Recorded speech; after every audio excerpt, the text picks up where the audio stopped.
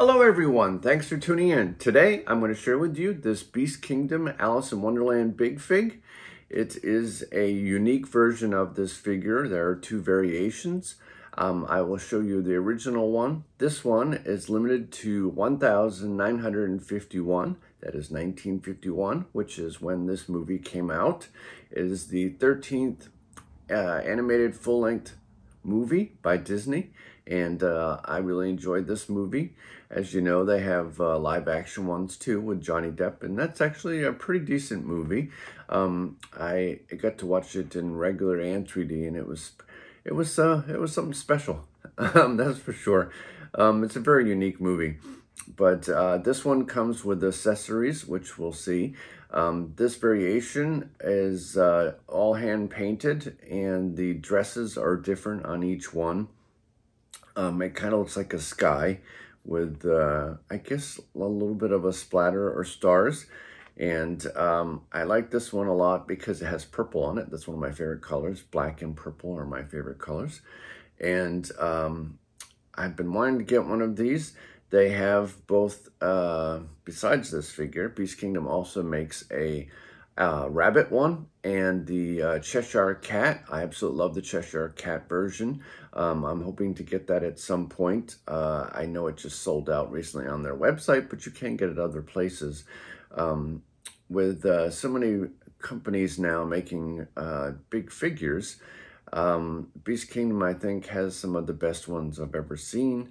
And uh, Disney used to produce figures themselves uh, way back in, I think it was the 90s or whatever.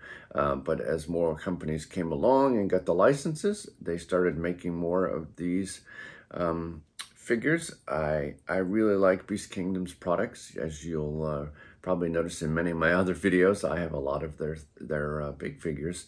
And uh, I just like big figures better than small stuff. I don't know. I uh, It takes up a lot of room, but I, I just like them more.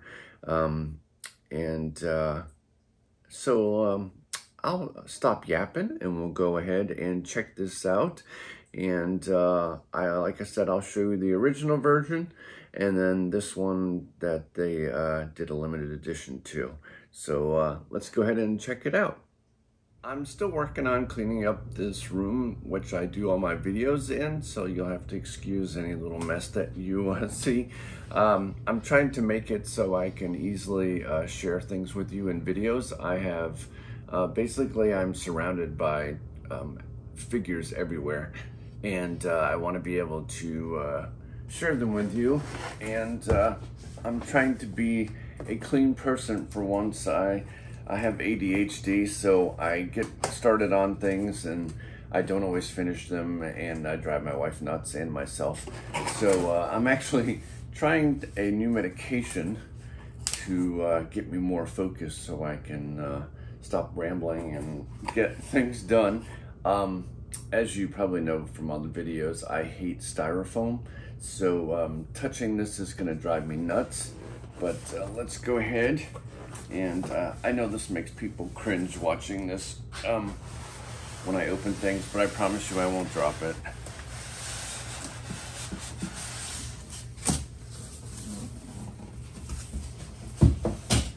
And I have so many boxes of figures because you don't always think when you're collecting things, oh crap, if I keep the boxes, I'm not gonna have any room to store all this stuff, which is kind of my issue Unfortunately, um, we had someone come to our house that uh, did a yearly checkup on our air conditioner and um, they used an outside hose without asking us and um, it flooded into our basement because you're not supposed to use that one. But how would I know that someone coming to an air conditioner is going to be using our hose? But uh, anyways, the water flooded into our basement and destroyed a lot of boxes. Um, luckily, that's all that was destroyed mostly. There was some other things, but um, luckily it was just a few boxes that got wrecked and not anything really important. So uh, let's go ahead and cut the tape off of this. The funny thing on the box, they actually recommend that you videotape when you open these, I guess so that you can prove uh, that you wanted a dimwit and broke something yourself and that it actually was um, something that happened in shipping or just some other reason. Um, uh, I just, I don't know why it's always been a thing with me. I just uh, and it's so noisy anyways. Trying to see what a seam is. Maybe I'll get this.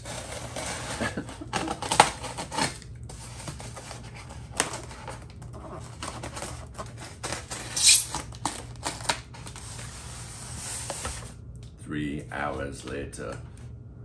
All right.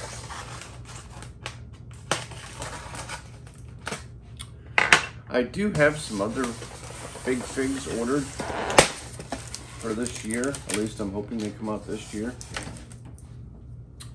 Alrighty, as always, they come with a certificate of authenticity.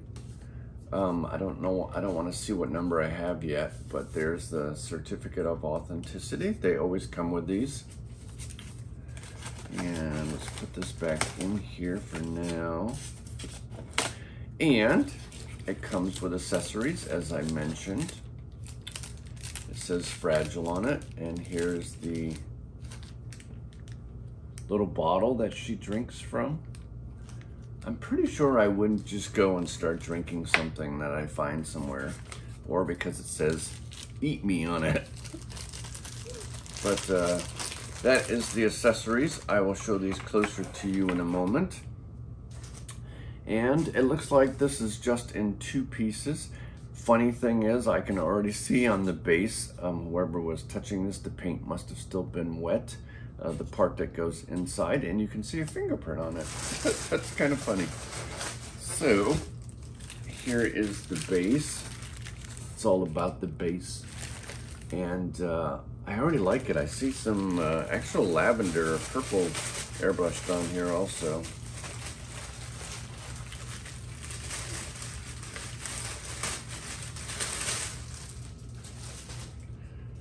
That's very cool. It's like almost a, um, oh, interesting.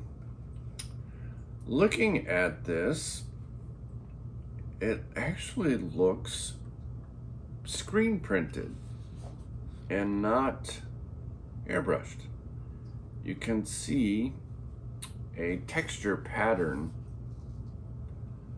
like a crisscross really small and uh, that's interesting. So here we go. There's the kind of creepy. There's just the base. And we'll go ahead and take Alice out of here. And then we'll have styrofoam everywhere. Kids look away, it's a decapitated Alice. So there is Alice. And as I mentioned, there's actually a fingerprint right there, but you don't see that, so it's all good. And then we just put that in there. And, uh, oh, I, excuse me. I'll show you a close-up in a minute, but uh, it has um, a cup full of tea, and it looks like tea. It actually looks wet from, I'm assuming it's a type of epoxy. So uh, let me move this box out of the way my cat's all intrigued. Anything new they have to get into or look at. Alice has got styrofoam ugh, all over her. So there is Alice. The stuff is everywhere and it clings to you. Static. So, uh, like I said, it does have these accessories. I'm not sure exactly where they expect you to put them. I guess you just kind of put them next to her. Um, I'm probably just going to store these away um, unless I find... Um, unfortunately, these display cabinets, not cabinets, but uh, I bought them at Lowe's. They're fairly cheap and they're metal racks, um, but, but there's slats in it so stuff could fall through. I want to get wood pieces cut so that it'll be a completely flat surface that I can start putting more figures on because they get a little wobbly sometimes. Um, but I do like them. They're they're not expensive and they're uh, very easy to put together and move. So um, that is why I got them. I'll share with some other different ways I or items I use to collect, uh, just in case you're ever trying to look for something for yourself. But uh, here she is, as you can see. Um, she has her nice blonde hair, and uh, I've always had a thing for blondes. My wife is blonde. Um, and it, uh, it kind of fades into a reddish orange at the bottom. It's the same on both of them. Um, I'm so glad I got this figure. I kind of put it off because I'm not like a huge collector of Alice, but um, I, saw this and it was really cheap. So um, I went ahead and ordered it. And uh, let's see, what number did we get? Out of 1951, we got 290. So that's kind of cool. It's pretty interesting. I always wonder, like, um, this was directly from Beast Kingdom. So I wonder um, what numbers they hold on to and what numbers go to other manu um, manufacturers, but distributors um, who sell these items. You can even find this on Amazon and Target, and it's actually sold by Beast Kingdom, but through a, um, Target and so on. So if you're looking for any of these, um, don't just go to Beast Kingdom. You can find them a lot of other places. And uh, sometimes they have really good sales, like recently. Um, I really like this dress. I'm to bring the camera over and show you a close-up. It's almost like an acid wash. It's really unique looking. And um, I really like it. So uh, I'm to go ahead and start showing you a close-up of everything. And uh, like I said, it comes with this cute little uh, Eat Me star. It's like a cookie, I guess. And then it comes with this little bottle.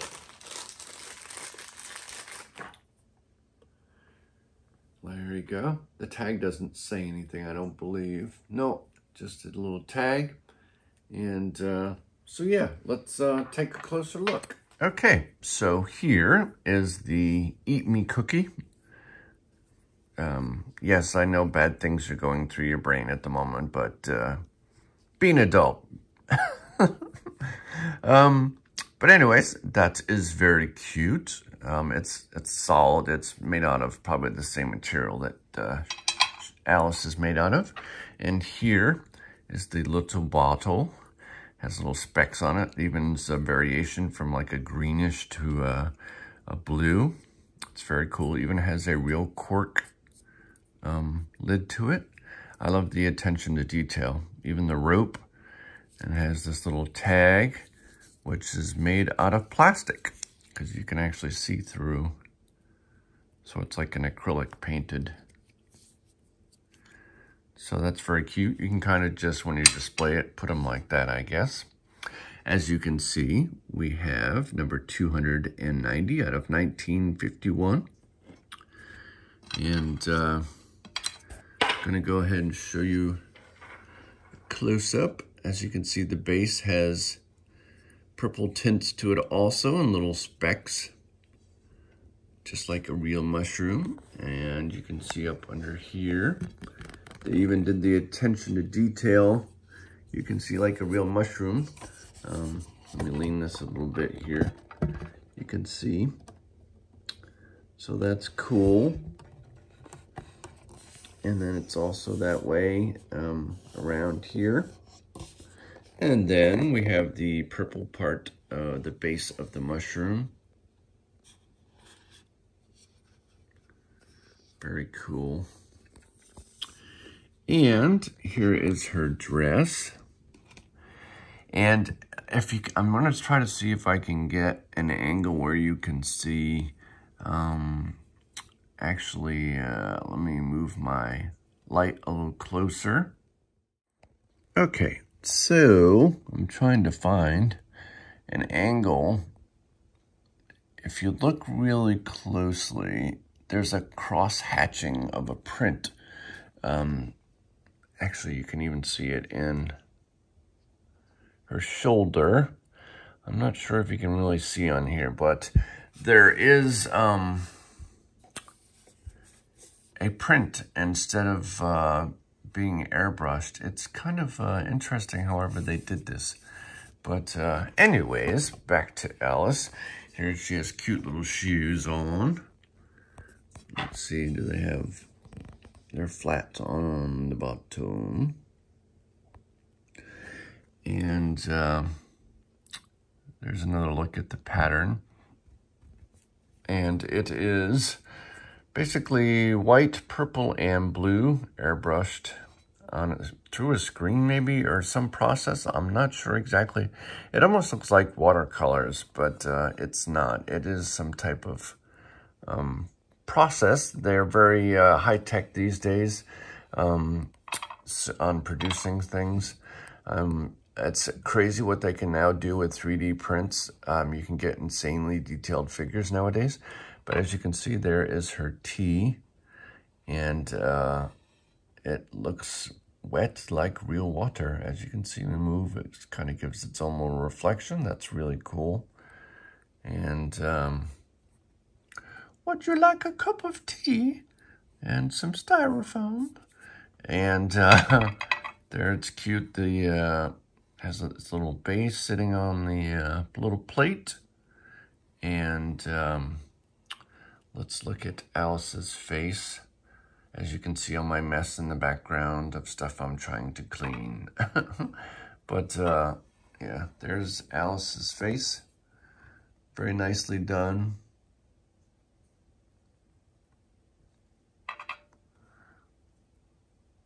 I really like this figure. It's really nice. I'm glad I got it. I wasn't going to um, at first, but then I changed my mind. And uh, so, yeah, this is a really good figure. Um, her little, um, as you can see, there's a little bit of a seam where it comes together, but um, you really don't really notice that unless you're looking for it. Um, it just looks like um, where, uh, actually, yeah, you kind of really don't take notice of it unless you're really looking for it. So, um, as I said, it's this, uh, it's a pretty thick, um, resin. I'm assuming these are made out of. Um, they did a great job. I, I really like this one. So uh, I'm going to have to find a place for it. Trying to organize is my issue. I always try to um, I wish you could see this. I mean, maybe you can on, when you uh, have it on a bigger screen. It's just, uh, it's an interesting process. I really would like to see, um, I have seen some techniques used for printing on figures, but uh, it would be kind of complicated the way I think to do this. So who knows? But either way, they did a great job. Um, I've seen other people post these and their, their designs are definitely different um, which is, is really cool.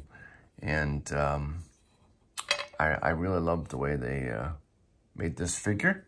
And like I said, I'm not really a huge Alice fan, but I, I do like this figure a lot. And um, I think she'll go next to Snow White until I get um, the witch hag lady who comes along with this one. And uh, I'm going to just show you a quick uh, spin around of this and then that'll wrap up the video. I do have a bunch of other ones uh, coming up, so uh, I hope you enjoyed this video, and uh, if I don't say so at the end, uh, I thank you for watching this video, and I would greatly appreciate it if you subscribe and like the video, and uh, I will have some more for you soon, and I want you all to have yourself a magical day.